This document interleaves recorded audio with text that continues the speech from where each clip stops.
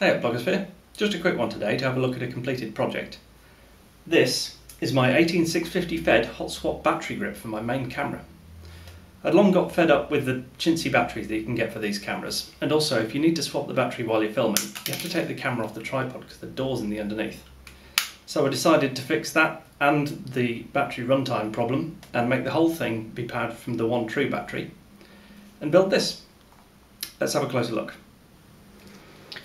So what we've got here is a 3D printed grip bolted to the camera with a boost converter and two holes for 18650s. Now at the moment it's running on the one that's in this bay and what you can do is install the second one and this will run as a reserve. This is showing that it's active on this battery and also blinking three lights here and showing one here to show that we've got one in reserve. And you can swap between the two. So you can swap manually if you like. So if you really if you, if you want to take this one out and you know you're going to do it you can swap over. It's now running on the one at the back then take this one out. Um, but it's actually fast enough to spot one going away that if you take the wrong one out as long as the other one's got charge in it if you take the one out that it's running on camera stays on just fine. It auto swaps onto the other battery.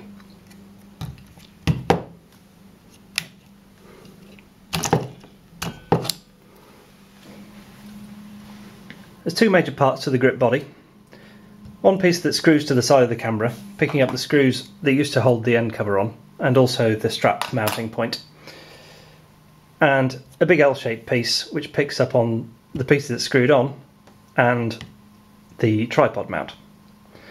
And in here, there's a bunch of electronics and a connector that pokes through into a converted battery pack, which is simply a pack that's been hollowed out with a connector on the side.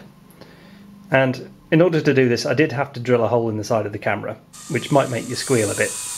But the other option was running a cable out of the bottom of the electronics and into the little flappy doodle where you can normally plug in a supply. And I didn't fancy that because as it is, I've got this hole where when I turn the whole thing off, I can take the SD card out. And this arrangement here is a 323 clip for a quick release. The electronics in here has got a synchronous boost converter based around the TPS 61088, which comes up to something like 90% efficient. Given that the extended runtimes you can get from the higher energy content of these compared to the crappy old Canon format batteries, I'm perfectly fine with the losses.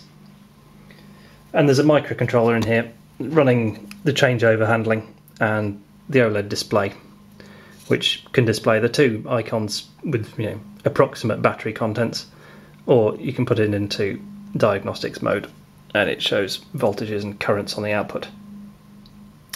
Camera draws about 350 to 400 milliamps. Now you know. It's got an auxiliary output on a barrel jack as well, so that you can run some small accessories like maybe a ring light or a field monitor without having to lug around a second set of batteries for whatever that is. Obviously, it'll significantly shorten the runtime of these, but that's alright because you can hot swap them. And you can carry a nice big box full of these around in your pack. So there you go. Hope you found that interesting. If you think there's anything else in the universe that needs to be powered off 18650s, let me know in the comments. Bye for now.